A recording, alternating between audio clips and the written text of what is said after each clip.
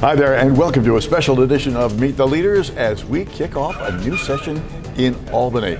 We are pleased to have with us as our special guest on this particular issue none other than 39th District Senator and the youngest assemblyman when he was elected assemblyman a few years ago, and now the youngest senator. Is it the youngest senator, James Skoufis? Second youngest. Yeah, Second not quite youngest. youngest. Ah. Yeah. That's all right. You got all this experience now. Well, you really do have all this experience now, and uh, now you're in a whole, it's a whole new bailiwick being in the Senate, and it really is a different place now. That's right. It's it's a different, a lot of change going on. So certainly in the district, um, it's it's the first new face in this district in, in literally decades, uh, and I'm, I'm honored to succeed Bill Larkin, who served for a very long time.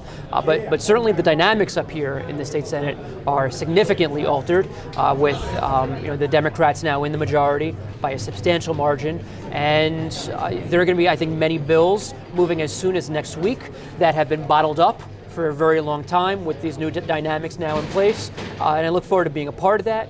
Uh, chair of a new committee, the Investigations and uh, Government Operations Committee. And uh, you know, as we were discussing uh, just prior to this segment, um, I look forward to, to being a big piece of the checks and balances that uh, this state requires, and that, quite frankly, we have not seen in a very long time. The Investigations Committee has been a largely dormant committee. This will be a robust and active committee for the first time in decades. And transparent? And transparent. Uh, this is going to be about uh, impartial accountability. We are not going to go after anyone or after anything for the sake of going after anyone or anything. We are going to be looking at things in a very fair and balanced way uh, and trying to identify answers to unanswered questions and looking at issues and matters that raise a red flag that, quite frankly, as I just said, should have been looked at a very long time ago in some cases, but because this committee has not been a robust one, they've either been swept under the rug or just not looked at. Well, now people observing this say, "Hey, but that's easy for him to say now because the Democrats rule, and you always say the same. You know, it's going to be a, a transparent thing, but you rule, so what difference is it?" Yeah. So look, I, I the you don't have to even just take my word for it. Over the past six years in the assembly, um, I feel I've demonstrated uh, an independence that maybe sometimes is not there in the legislature, and I've been very vocal against uh, when when it's appropriate. I've, I've spoken against some of the most powerful people in this state, um, including members of my own party. And so, you know, th- this committee provides an opportunity. You're right. You know, we're, we're talking about accountability. We're talking about transparency now. Um, now I have an opportunity to demonstrate it as chair of this committee, and I fully intend to. Where do you start when, when you start investigating things? There is so much, it's such a huge governmental entity filled with nooks and crannies and, and things that are going on. Where do you go?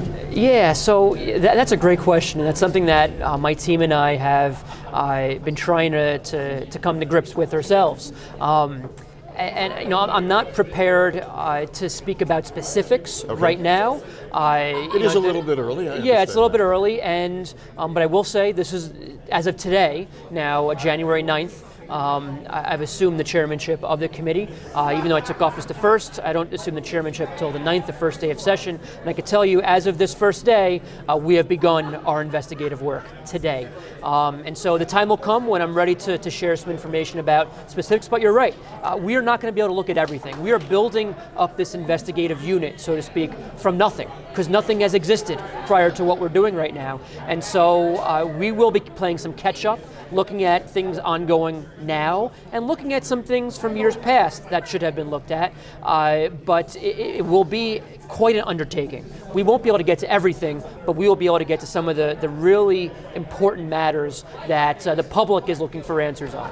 I was going to say, the public have got to be thrilled as, as they're watching this at home, and uh, you know they're they're hoping that this is going to transform what has been a lacking uh, element of government and ethics in government. Right. This is going to be a major transformation if you're able to pull it off. I I hope we're able to prove that to people. And uh, we as a legislature, this is the other piece of it, we as a legislature are um, constitutionally mandated to be a co-equal branch of government.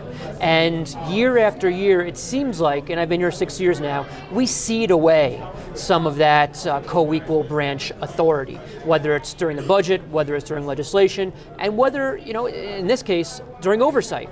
Um, there's basically been minimal, if any, oversight for many years of uh, the rest of government, of state government at large, and this is a this is a, part and parcel to exercising that constitutional right of an equal branch of government. You know, many people watching this are saying, this sounds a whole lot like Washington somehow. All those things the senator is saying are reflected in the DC scenario so, so this is uh, there's there's one large distinction I think. Um, our investigations uh, will uh, will not be done for the sake of investigating. Uh, we will be doing investigations to identify problems or wrongdoings in some cases, uh, but then also come out with conclusions, a report, recommendations, ways that we can improve processes or government operations if that's what we've been looking at. Whereas I think investigations down in Washington, and quite frankly, much of what happens down in Washington uh, is theater, it's bomb throwing, it's people not accomplishing anything. We actually want to accomplish tangible results that come out from these investigations and our committee work. Very exciting. Senator, I want to wish you all the very best. We'll be watching with great interest. Thanks very I much. all of our viewers will. There's no question about it. Look forward to coming back. Well done. Absolutely. Thanks. Thanks. Senator James Skoufis, watch this space for more. No question about it. We've got plenty more coming up. A full year of it here as we start a new session in, in Albany for uh, Meet the Leaders. I'm David Smith.